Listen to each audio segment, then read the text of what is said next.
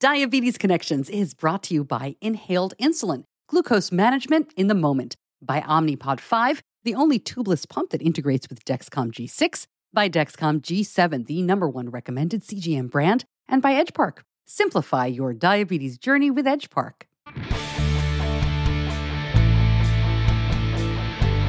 This is Diabetes Connections with Stacey Simms. This week, a new project to show an adventurous side of diabetes. A documentary called Beyond Limits about extreme athletes with type 1. The filmmakers are interviewing snowboarders, kayakers, and professional athletes like Indy driver Conor Daly. He's sitting in a 140 degree race car for five hours going 240 miles per hour. As someone who's type 1 diabetic, you're like, how do you do that? Director Dylan Leonard, who lives with type 1, talks to me about why he wanted to make this movie, how they're going about it, and why, in an age when we can see people with T1D doing all sorts of amazing things, like playing in the NFL or serving on the Supreme Court, he thinks this type of film is still needed. This podcast is not intended as medical advice. If you have those kinds of questions, please contact your healthcare provider. Welcome to another week of the show. Always so glad to have you here. You know, we aim to educate and inspire about diabetes with a focus on people who use insulin. I want to welcome a few new listeners who found me through the webinar I did last week. We did a back to school with diabetes webinar all about the best advice I ever got. If you missed that and you are interested, I do have information on the website now. This was a very popular webinar, so I decided to make the information available. You can go over to diabetes connections.com, it'll pop up. If it doesn't pop up, head over to shop, but it's a free download. We've got a bunch of free downloads there. If you haven't tooled around the site, there's lots of good stuff. All right, well, like a lot of you, I saw Breaking Limits, this new movie, being promoted on Instagram and social media. Actor Derek Theler is a producer on the movie. He's been on the podcast before, and his posts caught my eye. So I reached out to Dylan, our guest today, to learn more. What's interesting is that at the same time, I heard about another diabetes movie project in the works. This one is called The Cost. It is a fictional thriller, but it is based on the very true story about the high cost of insulin to so many in the United States. It's a very different project, but both of these have GoFundMe, Kickstarter type fundraisers going on right now. And, you know, podcasting can be very weird in terms of timing. I'm going to talk to both of these folks. You're, you're hearing from Dylan and Breaking Limits today and I'm scheduled to talk to the folks from the cost.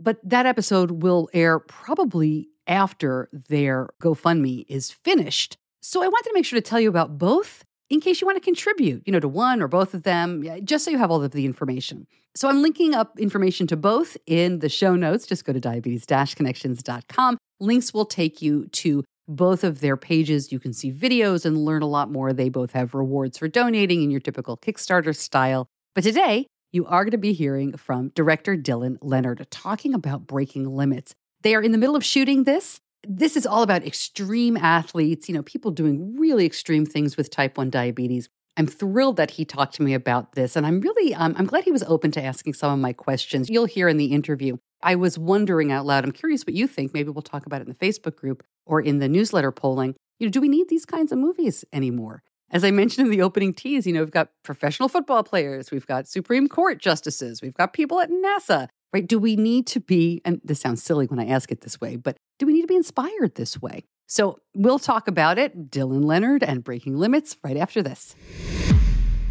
When it comes right down to it, there hasn't been a lot of innovation for insulin. Sure, there are different brands, but nothing really unique when it comes to insulin delivery, except for Afrezza. Afrezza is unique because it is the only ultra rapid acting inhaled insulin available. It starts working quickly without the need for injections at mealtime. Once you breathe Afrezza into your lungs using the inhaler, insulin appears in your bloodstream in less than one minute, and it may start reducing blood sugar in about 12 minutes. Find out more, see if Afrezza is right for you. Go to diabetes-connections.com and click on the Afrezza logo. Afrezza can cause serious side effects, including sudden lung problems and low potassium. It is not for patients with chronic lung disease such as asthma or COPD or for patients allergic to insulin. Tell your doctor if you ever smoked, have ever had kidney or liver problems, a history of lung cancer, or if you're pregnant or breastfeeding. Most common side effects are low blood sugar, cough, and sore throat. Severe low blood sugar can be fatal. Do not replace long acting insulin with Afrezza. Afrezza is not for use to treat diabetic ketoacidosis. Please see full prescribing information, including boxed warning, medication guide, and instructions for use on afrezza.com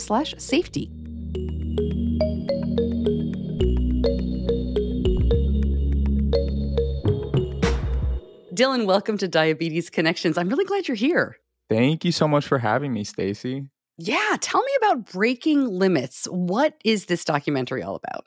I come from a background of sports. I was diagnosed as a type 1 diabetic at 15 years old at the beginning of my sophomore year of high school, and I had every aspiration of being a college basketball player later on with the goal of playing professionally. And there weren't really any resources out there. And I was kind of in the camp of trying to hide my diabetes. And I found myself not treating it as well as I probably should have, but I also didn't know. And my mom gave me the freedom to be extremely independent. And I really learned, but I was old school. I didn't have a CGM, I didn't have a pump. So everything was manual based on how I was feeling. And there were days I was working out so much where I did not have any insulin.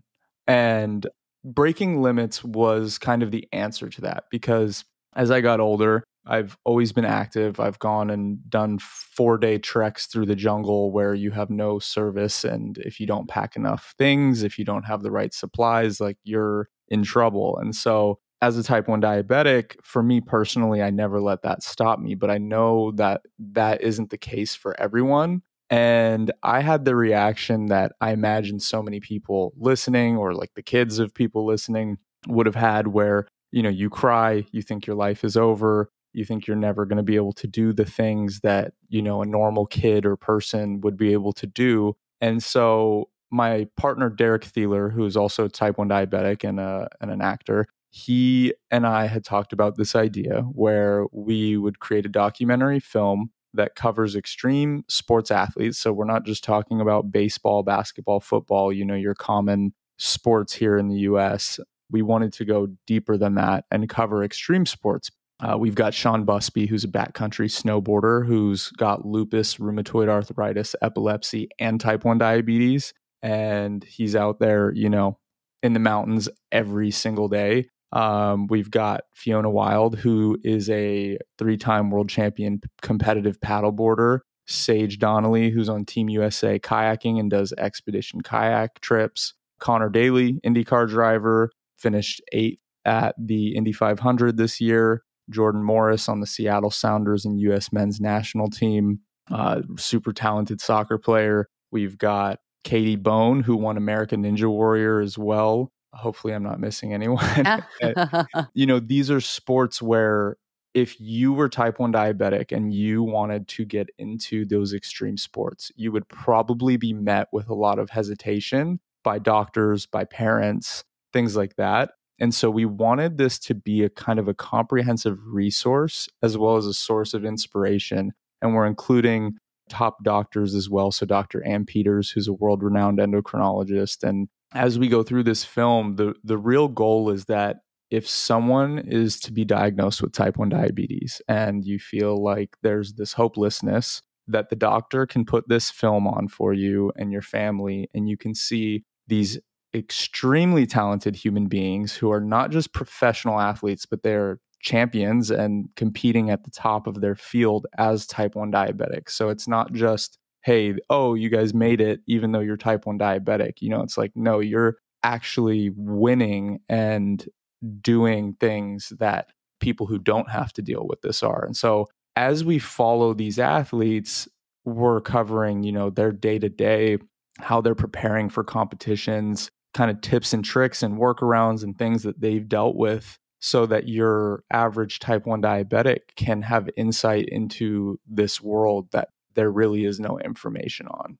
I have a lot of questions, but I do want to point out it's interesting. Um, Ann Peters, I recently had an episode with a panel that was sponsored by Tandem Diabetes, and Ryan Reed, you know, NASCAR driver, he mentioned her as the person who turned things around for him. So I'm curious, like with the medical professionals who are speaking in the documentary, are they talking about their specific experiences with these individuals, or and you alluded to this are they talking about how uh, you know an ordinary quote unquote person with type 1 who may never drive a you know in the indy races or you know be a, competitive kayaker what they can pull from this? Yeah so i think the goal because my background i grew up with a single mom. She worked multiple jobs. We couldn't afford to have a cgm and we couldn't afford to have an insulin pump so i didn't have those things until i was about 24 25 part of the the motivation for me is to make something that has all of these resources and information that like unless you go see Dr. Peters yourself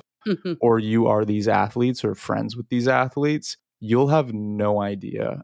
Dylan, I'm curious. You said you were 15 when you were diagnosed. Do you mind telling me what year that was? Yeah, it was uh 2011. So I am currently 27, so it'll be 13 years this September I will have been diagnosed. The reason I asked you that, I'm surprised by your answer, not because I thought you were younger or older or anything like that, but because by 2011, you would think that your diagnosis would come with a big side of you can do this.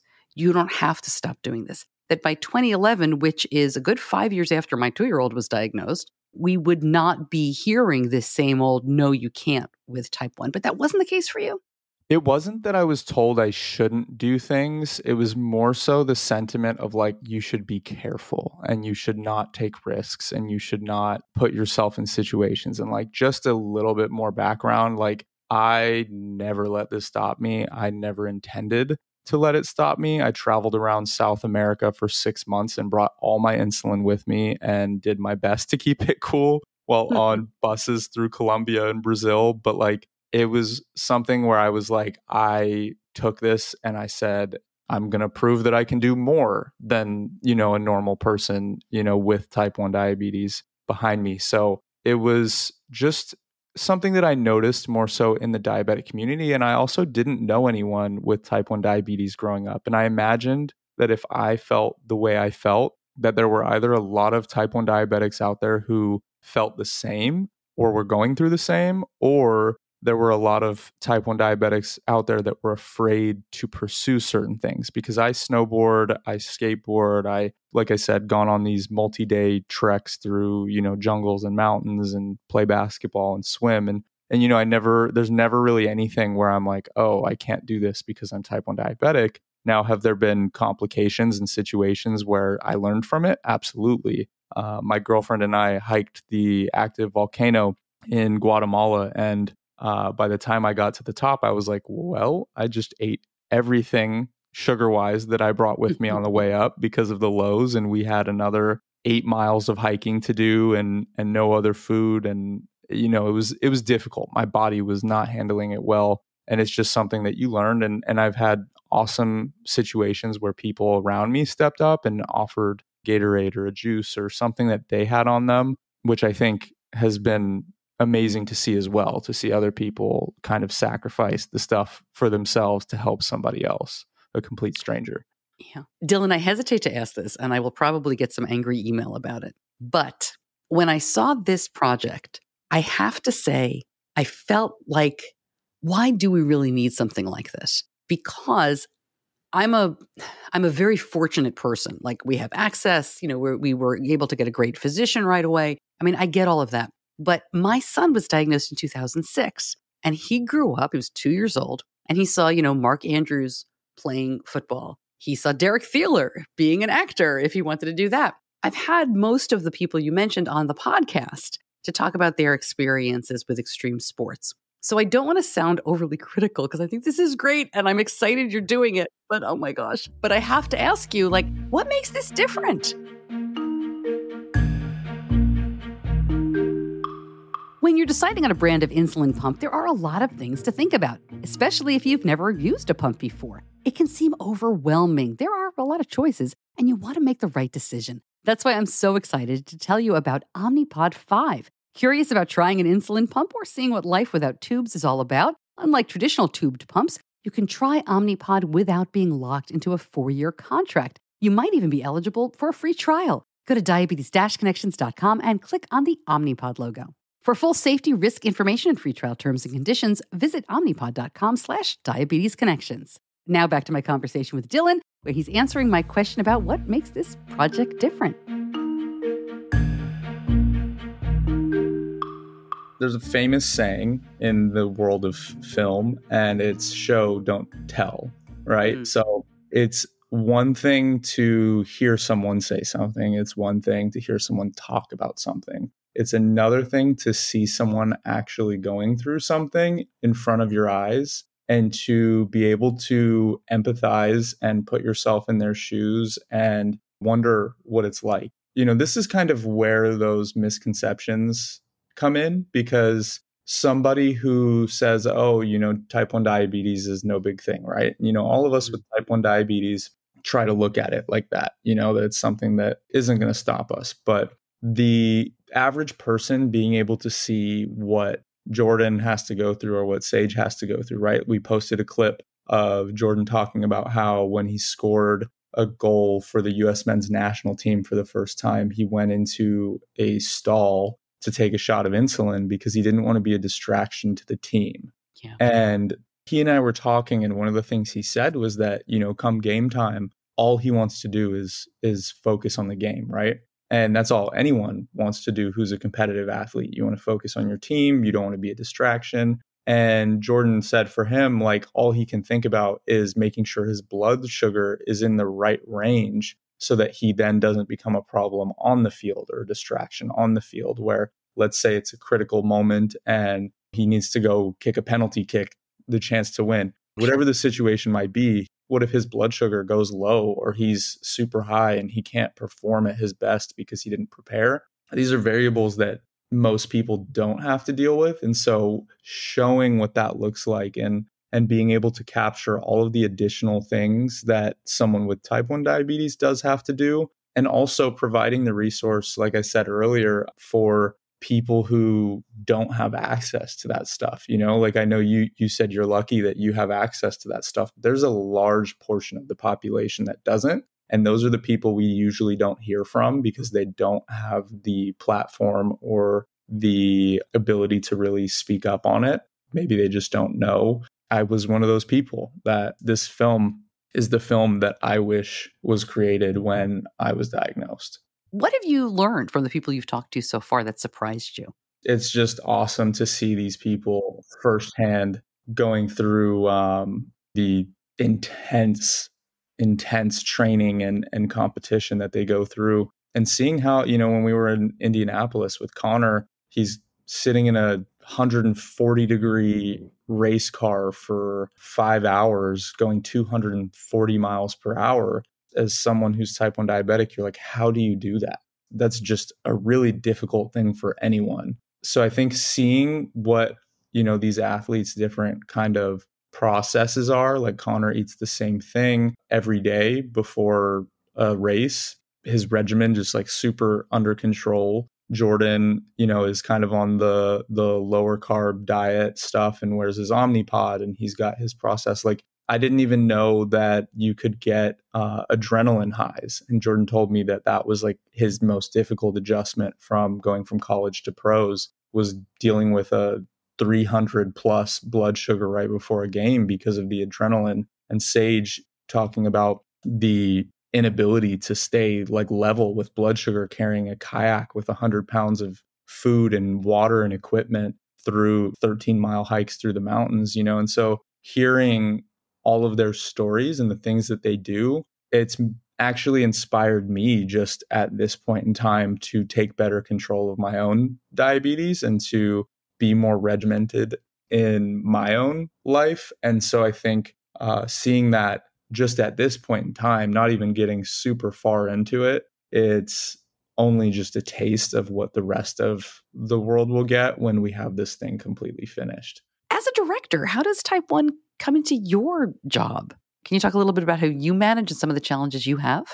Yeah. So, starting off in sports, since I played basketball in college, that's kind of where all of this came from. You know, I was super concerned in the recruiting process that if mm-hmm. anybody found out I was type 1 diabetic, it would be a reason that they didn't want me on the team because it would be an extra thing for them to have to deal with, right? And you don't want to be difficult right off the bat. So you know you worry about that stuff and then you know you get on a team and you're the freshman and now you know you you're in a running drill and you have to sit out in the middle of a running drill like your team is sitting there wondering if you're just kind of faking it. So it was all of that which obviously comes from mental side of things and emotional side of things but leading into kind of where i'm at in directing and film is that it's something that i used to try and hide because I, once again, I didn't want a client to not hire me because I posed this extra risk. So when, you know, something would happen, I would never tell people like, oh, I just need to have like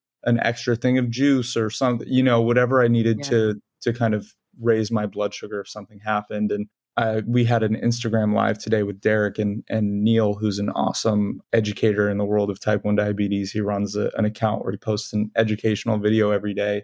And one of the things that Derek had happened to him was, you know, he was on set and waited until golden hour. You know, you've got this whole crew, you got thousands and thousands of dollars on the line for this one shot to take place. And he accidentally took twice the amount of insulin he needed because he thought he had a messed up pump site. And all of a sudden, you know, that time is on the line and now everyone's waiting for Derek to, you know, get his blood sugar up. I think he said he was at 50 with double arrows down. And so there's this pressure of like, if you're the one who messes up, right? If I'm the one who we're in our final shot of the day and it's the most important time and lighting and everything going on, and I'm the reason that that gets messed up, you know, you can't help but worry that, you know, someone doesn't want to bring you back or you get once again labeled as difficult. And so I think from a directing side of things, it's a little bit less affected than like in a physical space of sports because you're not as um, I guess it's it's no more different than kind of your everyday life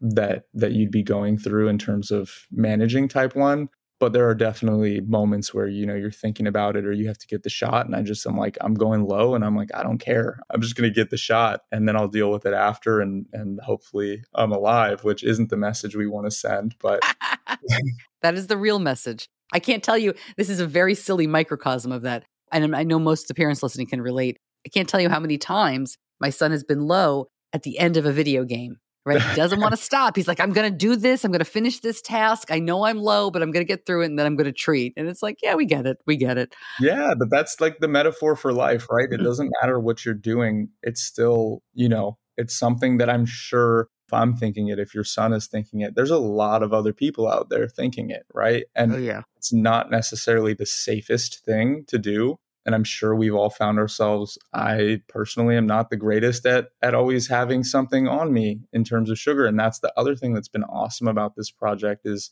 i remember an instance in uh, long beach when we were filming with conor and i went low and derek and conor both had something on them and i had never experienced that before and it was like there's no frustration for any of us because we all know what the other person is going through and it's like no take your time you know make sure you feel all right and you know we're all there to support each other and so aside from the overarching message of the film it's like we want to use this to to bring together an even larger community around type 1 diabetes and and sport whether someone has aspirations of being a professional or whether they just want to play for fun um, I think all of it is applicable and and it's it's stuff that you really can't get without having experienced it yourself. So who better to get that information from than these people who've been doing it for, you know, 10 years or 15 years and at the highest level. Before I let you go, toward the beginning of our, our conversation, you mentioned when you were diagnosed, your parents, your mom really wanted you to be very independent.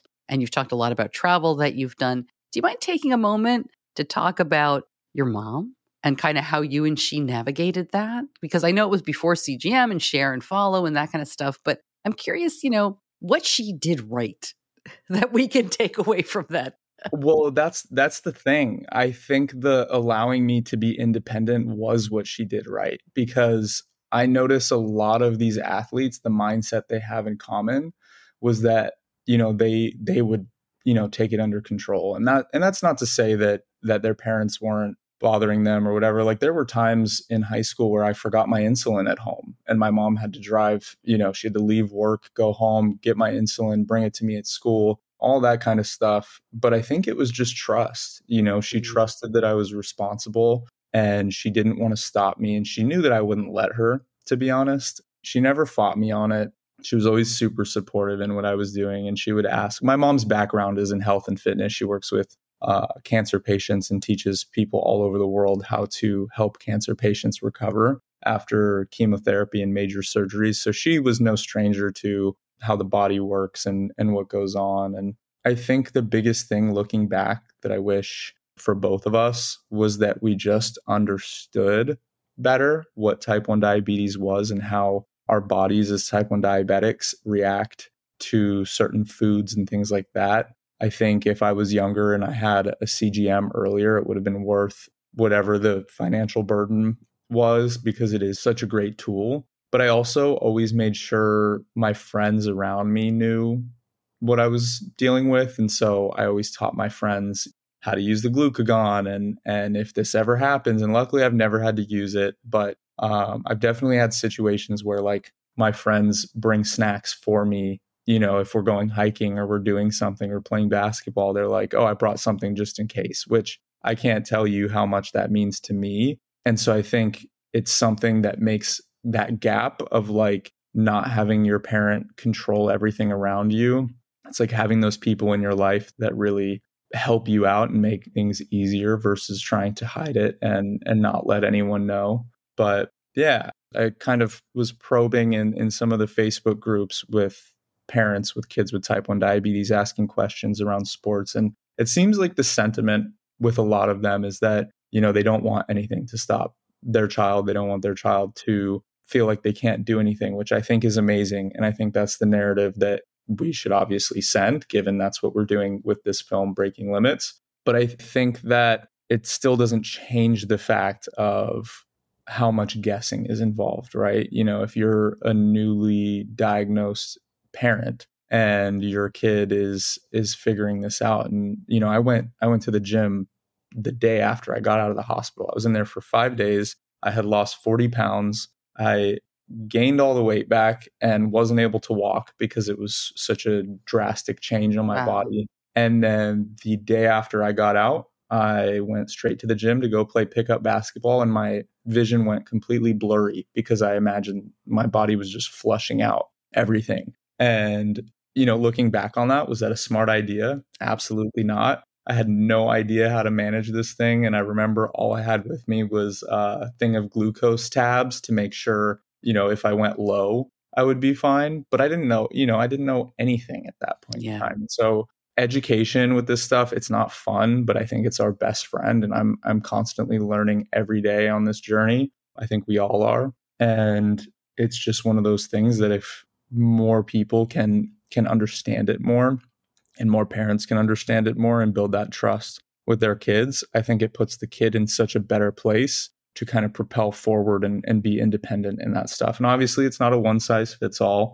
Every family is different, every relationship is different. And I'm not going to tell anybody how to parent their kids, but those are just, you know, my perspectives from where I came from. Well, Dylan, thank you so much for coming on and talk to me about this. Keep us posted definitely drop in as you're filming over the next year and as you get a release date. I'd love to talk to you again and find out more about where the project is. Thanks for coming on.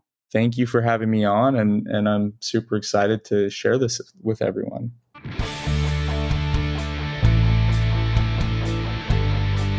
You're listening to Diabetes Connections with Stacey Simms.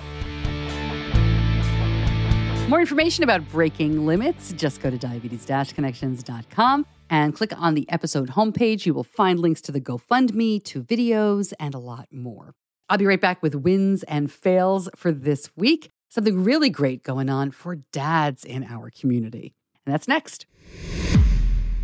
When I think about our family's use of CGM and Dexcom, it is getting harder and harder to remember how we did things before. I mean, how did we manage when Benny needed something like 10 finger sticks a day when he was a toddler? We thought it was amazing to switch to Dexcom when it needed to be calibrated twice a day. Well, now the Dexcom G6 eliminates finger sticks for calibration and diabetes treatment decisions. Benny's fingertips looked awful when he was in elementary school. You know, when they were wet, you could really see how pitted and scarred up they were from all of those finger sticks. Now they are healthy and smooth, which I never thought would happen back then. But to me, it's everything. Learn more. Go to diabetes-connections.com and click on the Dexcom logo. All right, this week wins and fails. I actually don't have any fails this week, but I have two wins, so it's all good news. I did not receive this email. I should say Benny did not receive this email, but another Tandem T Slim pump user did, and they sent it over to me. So thank you for that. In this email, Tandem says they are excited to announce they are nearing the limited launch of enhanced integration, which will enable it to be compatible with multiple sensors including the Dexcom G6 and Dexcom G7. For existing t:slim X2 users, this integration will become available through a remote software update. So if you got this email, lucky you, you were asked to get on the list, answer some questions, and see if you were eligible for the limited launch. No dates here. I have reached out to Tandem. I'm hoping to have them on the show soon to talk about this and a bunch of other stuff they've got in the works. But it looks like we are getting closer to G7 integration for Tandem. The other win for the week is for dads. And I get asked all the time if I know of any resources for dads of kids with diabetes. And so I'm really thrilled to pass this along.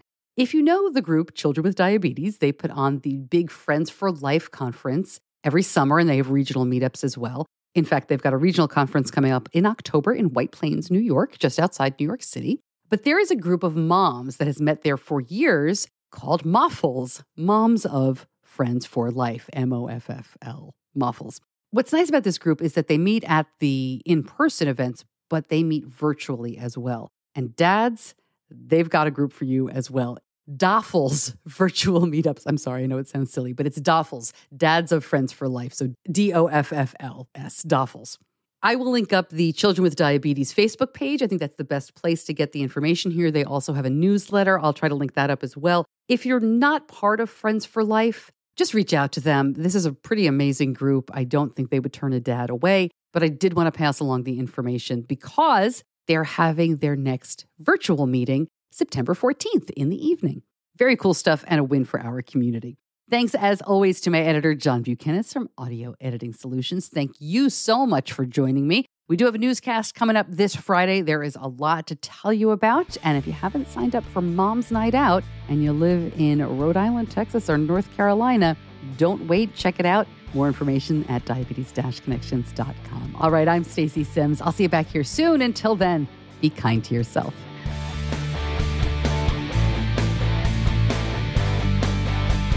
Diabetes Connections is a production of Stacey Simms Media. All rights reserved, all wrongs avenged.